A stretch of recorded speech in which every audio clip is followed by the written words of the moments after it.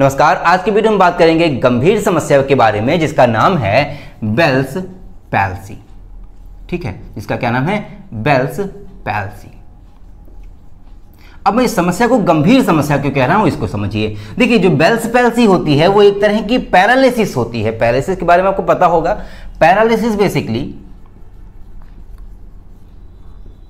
ठीक है पैरालिसिस जो होता है, आपको पता है इसको मैं हिंदी में फालिज भी कहते हैं। जब फालिज का अटैक या फिर पैरालिसिस का अटैक किसी व्यक्ति को हो जाता है तो ऐसी सिचुएशन में उसका जो आधा हिस्सा होता है बॉडी का, वो काम नहीं करता है या फिर वो कोई भी फ़ंक्शन परफॉर्म नहीं करता। एक तरह से डेड जैसी कंडीशन उसकी हो जाती है। ऐसी ही कंडीशन बेसिकली बेल्स पैल्सी की सिचुएशन में होती है या फिर कह सकते हैं कि बेल्स पैल्सी जो है, वो भी एक तरह की पैरालिसिस की समस्या होती है। लेकिन ये जो बेल्स पैल्सी है, ये पूरी बॉडी में नहीं नहीं होती है, ये सिर्फ़ और सिर्फ़ व्यक्ति के फेस में होने वाली पैरालिसिस की समस्या है। तो कह सकते हैं कि जो फेस में होने वाली पैरालिसिस की अटैक होता है, या फिर फेस में होने वाला जो बेसिकली पैरालिसिस होता है, उसको हम बोलते हैं बेल्स पैल्सी इसके अगर नाम की बात करें तो बेल्स का मतलब होता है घंटी। आपको पता है, घंटी लटकी हुई सी होती है, और पैल्सी का मतलब होता है पैरालिसिस तो बेसिकली ये जो समस्या है, इसमें होता क्या है कि जब फेस में बेसिकली किसी व्यक्ति के फेस में जब पैरालिसिस का अटैक हो जाता है या फिर बेल्स पैल्सी का अटैक हो जाता है तो ऐसे में उसकी जो स्किन होती है, क्योंकि आधे हिस्से में फेस के आधे हिस्से में ही इसका अटैक होता है। जो पैरालिसिस होता है, उसका, उसकी टेंडेंसी होती है, वो आधे हिस्से में ही अटैक करता है। आधे हिस्से में जब अटैक करता है तो ऐसे में जो फेस होता है आधा, वो लटक जाता है, यानी कि जो लिप्स होते हैं, लटक जाते हैं, कान जो होते हैं, लटक जाते हैं, या फिर जो चिन का हिस्सा होता है, ये पूरा ही हिस्सा बेसिकली लटक जाता है। चीक वगैरह से लटक जाते हैं। तो जब भी व्यक्ति बोलता है या फिर बोलने की जो कोशिश करता है, हालाँकि बोल तो नहीं पाता ठीक ढंग से, लेकिन जब बोलने की वो कोशिश करता है तो ऐसी सिचुएशन में उसका आधा हिस्सा ही काम करता है। यानी कि उसके फेस के आधे हिस्से में ही मूवमेंट होती है। उसके आधे लिप्स में मूवमेंट होती है, उसके आधे आधे आँखों में मूवमेंट होती है।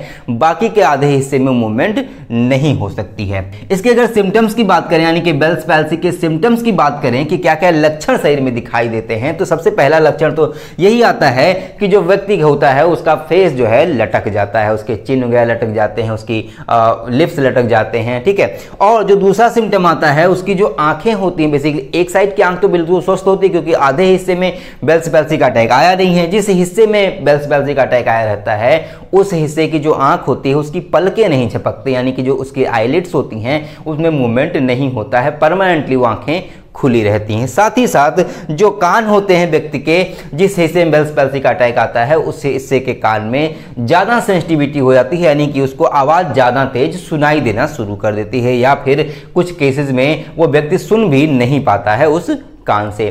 साथ ही साथ आपका जो जबड़ा होता है, यानी कि जिस व्यक्ति को बेल्स पैल्सी का अटैक आता है, उसका जो जबड़ा होता है उस हिस्से का बेसिकली उसमें बहुत ज़्यादा पेन या फिर बहुत ज़्यादा दर्द भी फील होता है। तो ये तो बात हो गई। इसके सिम्टम्स के बारे में कि क्या क्या सिम्टम्स या फिर क्या क्या लक्षण बेसिकली बेल्स पैल्सी की सिचुएशन में आता है।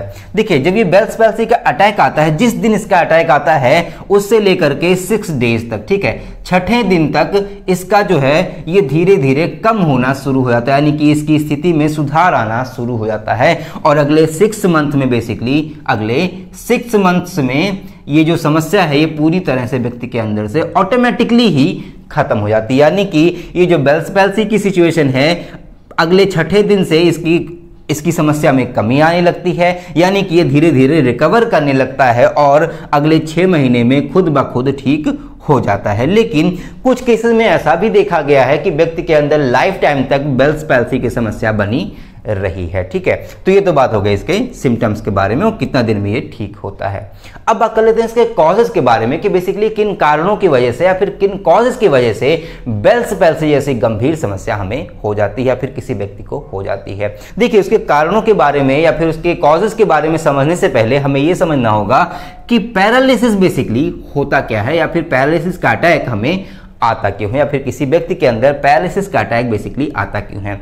आप सभी जानते हैं कि हमारी जो बॉडी होती है, वो हमारे ब्रेन से कंट्रोल होती है, जिसकी स्थिति हमारे सर में होती है। ठीक है, हमारे सर में जो दिमाग होता है, उसी के माध्यम से हमारे बॉडी के जितने भी ऑर्गन्स है, वो सारे कंट्रोल होते हैं, चाहे वो इनडायरेक्टली हो, चाहे वो डायरेक्टली हो।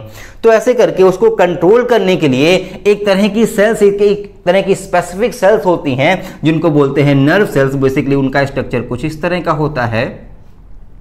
ठीक है? उनका स्ट्रक्चर कुछ इस तरह का होता है। इसमें डेंड्राइट्स होते हैं बेसिकली ये कुछ इस तरह का इस तरह के कुछ सेल होती हैं जो हमारे ब्रेन से लेकर के हमारे जितने भी बॉडी पार्ट हैं, या हमारे शरीर में जितने भी ऑर्गन हैं, उन सबसे जुड़ी रहती हैं और यहाँ से सूचनाओं का आदान प्रदान हमारे मस्तिष्क से होता रहता है। यानी कि अगर किसी बॉडी ऑर्गन में बेसिकली मान लीजिए, अब अगर मैंने अपने हाथ में एक सुई चुभाई तो ऐसे में जो दर्द फील होगा, उसका तुरंत ही मैसेज ये जो सेल्स होती हैं बेसिकली इनको बोलते हैं नर्व सेल्स ठीक है? ये जो नर्व सेल्स होती हैं, उसकी सूचना तुरंत ही दिमाग को देती हैं और हमारे दिमाग को पता चल जाता है कि किसी पर्टिकुलर जगह पे सुई चुभाई जा रही है या फिर जो हमें कभी मच्छर काटता है, कोई चीज़ हमें इरिटेट करता है, हमें जब कहीं चोट लग जाती है तो ऐसे में हमारे ब्रेन को सूचना देने का काम यही नर्व सेल्स करते हैं। साथ ही साथ हमारी बॉडी में जो भी मूवमेंट होता है मसल का कॉन्ट्रैक्शन होता है मसल के जितने भी मूवमेंट होते हैं बेसिकली जैसे हम हाथ ऊपर नीचे कर रहा हूँ तो ये सब सारी चीज़ें मेरे ब्रेन के माध्यम से या फिर हमारे ब्रेन के माध्यम से इस नर्व नर्व सेल के माध्यम से बेसिकली कंट्रोल होती हैं। जब इस नर्व सेल के अंदर किसी तरह का इन्फ्लामेशन आ जाता है, किसी तरह की त्रुटि आ जाती है, मान लीजिए ये डैमेज कर जाते हैं तो ऐसी सिचुएशन में व्यक्ति का आधा हिस्सा पैरालाइज कर जाता है या फिर आधा हिस्सा बेसिकली अनसेंसिटिव हो जाता है या फिर उसके अंदर सेंसिटिविटी खत्म हो जाती है, ठीक है? तो इसी कंडीशन को हम बोलते हैं पैरालिसिस।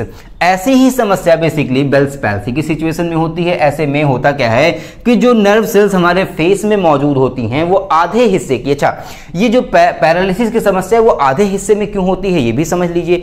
जो पैरालिसिस की समस्या होती है, वो आधे हिस्से में इसलिए होती है क्योंकि हमारी जो बॉडी है, दो हिस्सों में डिवाइडेड होती है। उसमें एक सिमेट्री होती है, आधा हिस्सा लेफ़्ट साइड का, आधा हिस्सा राइट साइड का। तो जो मैकेनिज्म होता है बॉडी का, वो दो पार्ट में बेसिकली डिवाइडेड होता है, यानी कि दो साइड हमारे जो बॉडी होती है, वो फ़ंक्शन करती है। तो ऐसे में जब भी पैलिसिस का अटैक किसी व्यक्ति के अंदर होता है तो ऐसे में उसका एक ही हिस्सा काम करना बंद करता है, दूसरा हिस्सा पूरी तरह से एक्टिव रहता है। ठीक है? ये तो बात हो गई पैलिसिस के बारे में।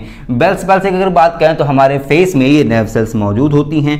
अगर इनके अंदर किसी तरह का इन्फ्लामेशन आ जाता है, किसी तरह का डिस्ट्रक्शन आ जाता है, या किसी वजह से डैमेज हो जाती हैं तो ऐसे कंडीशन में हमारे आधे फेस में बेसिकली पैलिसिस का अटैक आ जाता है, जिसे हम बेल्स पैल्सी कहते हैं, ठीक है? इसके अगर कॉजेज़ की बात करें तो इसके कॉजेज़ के बारे में अभी तक हमारे एक्सपर्ट को सही से नहीं पता है, या फिर हम हम लोगों को अभी तक इसके बारे में पूरी जानकारी नहीं है, कि बेसिकली किन वजहों से बेल्स पैल्सी की समस्या किसी व्यक्ति के शरीर में हो जाती है। लेकिन इसके कुछ अदर रिस्क फैक्टर भी देखे गए हैं, जिनकी वजह से बेल्स पैल्सी की सिचुएशन बन जाती है, या फिर बेल्स पैल्सी काटा है किसी व्यक्ति के अंदर, आ जाता है। उसमें पहला जो पहला जो रिस्क फैक्टर आता है बेसिकली वो आता है डायबिटीज़ ठीक है? डायबिटीज़ के बारे में आप सभी को पता है कि डायबिटीज़ जब किसी व्यक्ति को हो जाता है तो ऐसे में उसके अंदर इंसुलिन की मात्रा कम हो जाती है, जिसकी वजह से जो वो शुगर का कंजम्पशन करता है या फिर जो शुगर बेसिकली खाता है ग्लूकोज जो खाता है, वो उसका डाइजेशन ठीक ढंग से नहीं हो पाता। जिस वजह से वो जो ग्लूकोज होता है, वो ब्लड में चला जाता है और ब्लड के माध्यम से हमारे पूरी बॉडी में टहलने लगता है, जिसकी वजह से जिन भी सेल्स तक ग्लूकोज पहुँचता है, वो सेल्स डैमेज करने लगती हैं या फिर रक्चर्ड हो जाती हैं या फिर कहने की वो बेसिकली वो डैमेज करने लगती हैं, जिसकी वजह वजह से हमारी बॉडी में बहुत सारे ऑर्गन खराब होने लगते हैं। ऐसे में जब डायबिटीज़ की समस्या किसी व्यक्ति के अंदर होती है, उसका डायबिटीज़ ज़्यादा बढ़ा रहता है, यानी कि उसके अंदर इंसुलिन का लेवल बहुत कम हो जाता है शुगर ग्लूकोज का लेवल ज़्यादा हो जाता है तो ऐसी सिचुएशन में वो जो ब्लड में घुला हुआ जो ग्लूकोज है, वो हमारे नर्व सेल्स तक आएगा और नर्व सेल को डैमेज कर सकता है, जिसकी वजह से बेसिकली किसी व्यक्ति के अंदर बेल्स पैल्सी की सिचुएशन देखी जा सकती है। साथ ही साथ ये समस्या प्रेग्नेंट वुमेन के अंदर भी हो जाती है। प्रेग्नेंट वुमेन के अंदर भी हो जाती है। बेसिकली ये जो समस्या है प्रेग्नेंट वुमेन के थर्ड ट्राइमेस्टर के अंदर, ठीक है? थर्ड ट्राइमेस्टर के अंदर ये समस्या हो जाती है। थर्ड ट्राइमेस्टर एक ऐसी सिचुएशन होती है जैसे में बॉडी में बहुत सारे मेटाबॉलिक चेंजेस होते हैं। जो बेबी होता है, उसका डेवलपमेंट और तेज़ी से होने लगता है, जिसकी वजह से भी नर्व सेल का डैमेज होना स्वाभाविक है और ऐसे केसेस में बहुत ज़्यादा चांसेस बन जाती हैं बेल्स पैल्सी के होने की। साथ ही साथ आपका जो बीपी लेवल है, अगर वो हाई रहा तो उसकी वजह से भी नर्व सेल डैमेज हो सकती हैं और आपको कहीं ना कहीं बेल्स पैल्सी या किसी व्यक्ति को बेल्स पैल्सी की सिचुएशन बेसिकली उसकी बॉडी में बन सकती है। तो ये कुछ रिस्क फैक्टर हैं जिनकी वजह से बेल्स पैल्सी की समस्या किसी व्यक्ति के अंदर हो जाती है। अब बात आती है इसके डायग्नोसिस के बारे में कि भाई इसका डायग्नोसिस किस तरह से करते हैं या फिर डॉक्टर के पास जब हम जाते हैं तो वो कैसे पता करते हैं कि इसका आपके अंदर बेल्स पैल्सी की समस्या है या फिर नहीं है। देखिए, इसके डायग्नोसिस के वजह से तो स्पेसिफिक कोई टेस्ट नहीं है या फिर स्पेसिफिक किसी तरह की कोई जाँच नहीं है जिसके माध्यम से बेल्स पैल्सी का टेस्ट किया जा सके, लेकिन इसके कुछ बेसिक से जाँच हैं, जैसे कि ईएमजी किया जा सकता है। ईएमजी का मतलब होता है इलेक्ट्रो मायोग्राफी, ठीक है? इलेक्ट्रोमायोग्राफी। इलेक्ट्रोमायोग्राफी एक तरह की स्कैनिंग होती है, जिसके माध्यम से आपकी जो नर्व सेल्स होती हैं बेसिकली उसको स्कैन करके देखा जाता है कि नर्व सेल में किसी तरह का इन्फ्लामेशन या फिर किसी तरह का डैमेज तो आया है या फिर नहीं आया है। तो बेसिकली ईएमजी या फिर इलेक्ट्रोमायोग्राफी के माध्यम से बेल्स पैल्सी का टेस्ट किया जाता है। साथ ही साथ इसमें कुछ ब्लड टेस्ट भी हो सकते हैं। ठीक है, कुछ ब्लड टेस्ट भी कराए जा सकते हैं बेसिकली डॉक्टर के थ्रू और आपका एमआरआई भी बेसिकली एम आई भी बेसिकली किया जा सकता है, ठीक है। मैग्नेटिक रेजोनेंस इमेजिंग की जो कंडीशन होती है, इसके माध्यम से आपकी एक स्कैनिंग की जाती है, उसके माध्यम से आपके बॉडी में नर्व सेल कितनी डैमेज हुई हैं, उसका पता करने का प्रयास करते हैं। उसके हिसाब से ही डिसाइड होता है कि इसका ट्रीटमेंट किस तरह से किया जा सकता है। ठीक है, अब बात आती है इसके ट्रीटमेंट के बारे में कि बेसिकली इसका ट्रीटमेंट किस तरह से कर सकते हैं या फिर इसका इलाज संभव है या फिर नहीं है। देखिए, आप सभी को पता है कि पैरालिसिस का इलाज आज के समय में पूरी तरह से संभव है, चाहे वो एलोपैथिक की बात कर लें, चाहे वो होम्योपैथिक की बात कर लें। मैं किसी की बड़ाई नहीं कर रहा हूँ, लेकिन होम्योपैथिक में इसका इलाज बहुत अच्छा है, बहुत आराम से ये समस्या पूरी तरह से खत्म हो जाती है। ठीक है, अगर आपको इंस्टेंट रिलीफ चाहिए, जैसे मान लीजिए किसी को पैरालिसिस का अटैक जस्ट आया है तो ऐसे में एलोपैथिक इंजेक्शन कुछ आते हैं, वो आपको दिए जाते हैं, और वो आपके नर्वस सेल्स को बेसिकली जो न्यूरॉन्स होते हैं या फिर जो नर्व सेल्स होते हैं, उनको एक्टिवेट करते हैं, जिसकी वजह से पैरालिसिस की समस्या आपके अंदर से धीरे धीरे से खत्म हो जाती है। धीरे धीरे उसकी मेडिकेशन होती है धीरे धीरे उसकी दवाएँ चलती रहती हैं, और वो समस्या खत्म हो जाती है।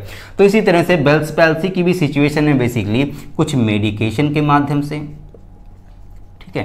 कुछ मेडिकेशन के माध्यम से और कुछ फ़िज़िकल थेरेपी के माध्यम से भी इसका ट्रीटमेंट बेसिकली किया जा सकता है। तो हम ये कह सकते हैं कि बेल्स पैल्सी को पूरी तरह से ट्रीट किया जा सकता है आज के समय में, ठीक है? एक और बात की जो पैरालिसिस की समस्या होती है, ऐसे में बहुत से लोग पहले तो ऐसा होता था कि लोग झाड़ फूक के चक्कर में पड़ते जब किसी को फालिज का अटैक हो जाता है, इसको बेसिकली हिंदी में फालिज बोलते हैं तो जब किसी को फालिज का अटैक हो जाता था तो ऐसे में वो झाड़ फूक का सहारा लेता था, पानी फुका के लाते थे। बहुत सारी चीज़ें वो करते थे। तो आप ऐसी चीज़ों में ना पड़ें। अगर आपको कोई ऐसा कहता है तो बिल्कुल भी ऐसा ना करें, क्योंकि सिचुएशन ज़्यादा क्रिटिकल हो सकती है। जैसे ही किसी व्यक्ति को पैरालिसिस का अटैक होता है या फिर बेल्स पैल्सी का अटैक आता है तो ऐसे में तुरंत ही आप डॉक्टर के पास जाएँ। डॉक्टर आपको इंस्टेंट रिलीफ रिलीफ के लिए बेसिकली कुछ मेडिकेशन प्रोवाइड करेगा चाहे वो इंजेक्शन के माध्यम से होगा या फिर टैबलेट के माध्यम से हो सकता है तो आपके अंदर इसके लिए तुरंत ही रिलीफ मिलेगा इंस्टेंट रिलीफ मिलेगा और धीरे धीरे आपकी मेडिकेशन चलती रहेंगी और कुछ एक्सरसाइज करते रहेंगे आप तो धीरे धीरे से ये समस्या पूरी तरह से खत्म हो जाती है। वैसे भी जो बेल्स पैल्सी की समस्या है, वो सिक्स डेज़ से कम होने लगती है, यानी कि अगले एक हफ़्ते के अंदर अंदर वो समस्या धीरे धीरे कम होने लगती है और अगले छः मंथ में या फिर सिक्स मंथ में कह लें, ये समस्या पूरी तरह से खत्म हो जाती है। तो ये तो रही बात बेल्स पैल्सी के बारे में। आई होप आपको वीडियो अच्छी लगी होगी, आपको वीडियो समझ आई होगी। और अगर आपको वीडियो समझ में आई हो, अच्छी लगी हो तो प्लीज़ वीडियो को लाइक करें। लोगों को शेयर करें ताकि बेल्स पैल्सी के बारे में और लोगों को जानकारी मिल सके। साथ ही साथ अगर आप चैनल पर नए हैं तो प्लीज़ चैनल को सब्सक्राइब कर लें ताकि ऐसी इंटरेस्टिंग और ऑल फिर वीडियो को लगातार मिलती रहे। मिलते हैं अगले वीडियो में। तब तक के लिए जय हिंद। Thank you